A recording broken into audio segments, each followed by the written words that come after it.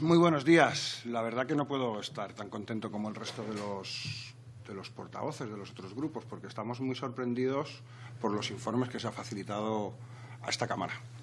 En primer lugar, nos gustaría, en una comisión como esta, que es una comisión parlamentaria, que nos dijera si estamos en guerra con Rusia. Eso es la primera pregunta que se tiene que aclarar, porque nos parece que eso tiene una trascendencia no menor. Supongo que usted conoce que existen tropas españolas desplegadas en los países bálticos en estos momentos. Las afirmaciones que contienen los informes que usted nos facilita a esta comisión son de extremada gravedad para la seguridad nacional de nuestro país, como comprenderá, más viniendo de un instituto como el suyo. Su instituto tiene, una, tiene historial con respecto a los conflictos armados, no es nuevo.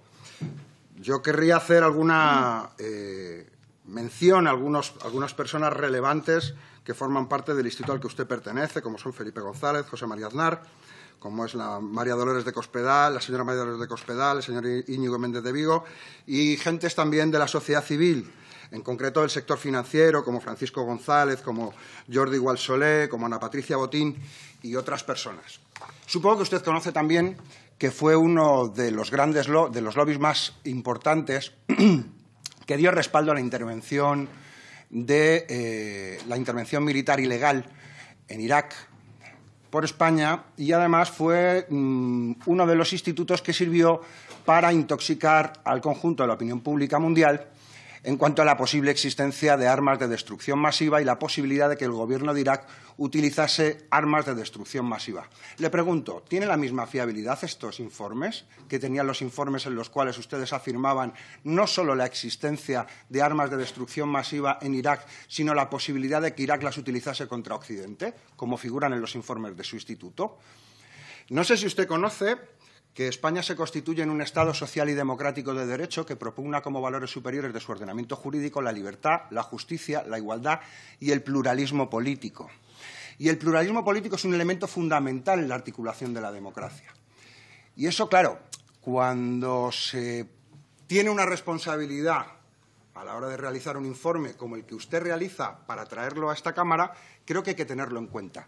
Máxime, no sé si usted conoce también, que en esta Cámara hay un informe que acredita la utilización del Ministerio del Interior contra la disidencia política. No sé si conoce esos informes, pero se los recomiendo, en los que se han utilizado recursos del Estado para perseguir a los disidentes políticos. Y, entre otras cosas, para intoxicar y desinformar contra aquellos que opinaban diferente al Gobierno. Se lo digo porque, desgraciadamente, nos hemos encontrado como en su informe no tiene usted ningún decoro en decir que existe, que el Partido Podemos pueda estar recibiendo financiación del Kremlin como otros partidos populistas, aunque será difícil obtener pruebas de ello, ya que se trataría de una financiación opaca. Yo no sé si usted entiende la gravedad que tienen sus afirmaciones. No sé si usted calibra que usted, en estos momentos, eh, haciendo parte de una doctrina de la seguridad nacional, nosotros entendemos que esto forma parte de una estrategia de intoxicación inaceptable en un Estado democrático cuando no se aporta ni una sola prueba, ni una sola prueba. Es una descalificación y un ataque al pluralismo político y a la democracia en nuestro país.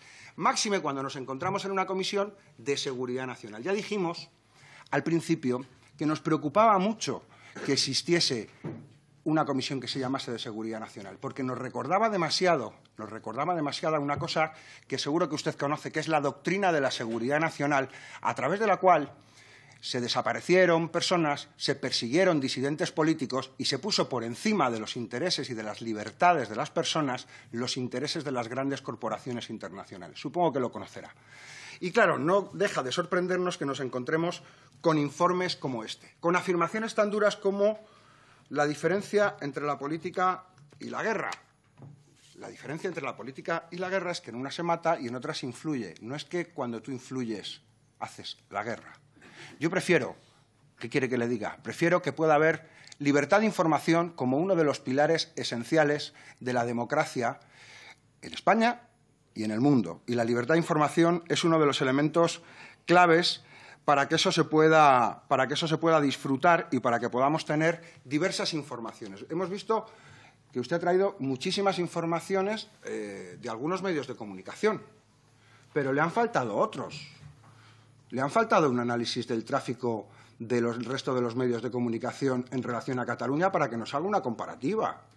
Solamente aparecieron en las portadas de los medios de comunicación de Rusia los hechos ocurridos en Cataluña? ¿Solamente fueron puestos en cuestión por los medios de comunicación rusos la actuación en Cataluña frente, al, frente a la consulta del 1 de, de octubre? Creo que es obvio que no, pero si usted tiene otra opinión, le pido que me, lo, que me, lo, explique, porque lo que nosotros hemos visto es que las principales portadas de los medios de comunicación internacionales no aceptaban que en un Estado democrático se arremeta contra la población porque el principio de mínima intervención penal hubiera hecho innecesaria una intervención de esas características y la utilización de la violencia contra población desarmada. No es algo que se nos haya ocurrido en nuestro país, sino que es un valor democrático de eh, preservación de bienes jurídicos protegidos en el momento en el que se tienen que producir intervenciones proporcionales, que es lo que supuso el escándalo mundial. No fue un escándalo en Rusia, fue un escándalo mundial. Entonces, le digo, estamos muy preocupados eh, por estos informes, estamos muy preocupados viniendo de un instituto que es real, que está, cuya presidencia de honor eh, la ostenta el, rey de España, y estamos muy preocupados porque eh, entendemos que puede formar parte de una estrategia de intoxicación, de desinformación y entendemos que algunas de las afirmaciones que contienen que estos informes son un ataque al pluralismo político, que es un valor fundamental en nuestra democracia. Muchas gracias. Los informes del Instituto del Cano son públicos, están en la web y se repartieron no por iniciativa del Instituto Elcano, sino por iniciativa mía. Me parecía que teniendo una compareciente como la que hemos tenido hoy, era aconsejable el que tuviesen documentación previa para que pudiesen sus señorías eh, formular sus propias tesis como el señor Mayoral ha hecho. En segundo lugar, la compareciente debe responder de los informes de la que es autora. Ella es, eh, si no mis datos son correctos, eh, forma parte de la plantilla fija del Elcano desde 2016. No creo que esté en condiciones de responder sobre la filosofía del Elcano desde sus primeros tiempos, sobre la composición del Elcano o sobre informes cuya autoría no corresponden a la señora Milosevic.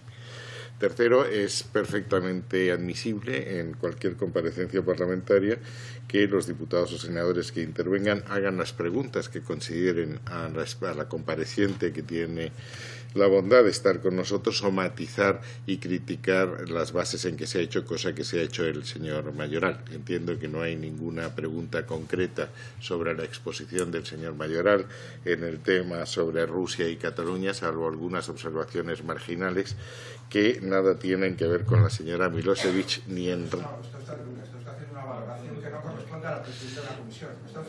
No, perdóneme, perdóneme. El, el, el, per, perdóneme. Estoy yo en uso de la palabra y no usted, y los, debates los dirijo yo, y ya comprenderá que la señora Milosevic no tiene que responder sobre las cargas policiales del 1 de octubre. No es su función ni es su competencia. Me parece que eso es de una, de una evidencia. Por tanto, lo que estoy intentando es reconducir al orden lo que es el objeto de esta división, porque si no nos podemos, no estoy criticando para nada la intervención del señor diputado ¿Quiere usted decirme, perdonar si que lo di la palabra, cuál es la valoración que yo he hecho?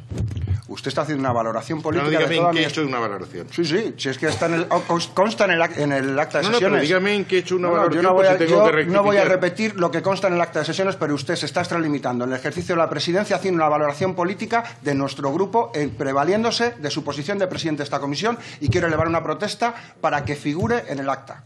Que figure en el acta.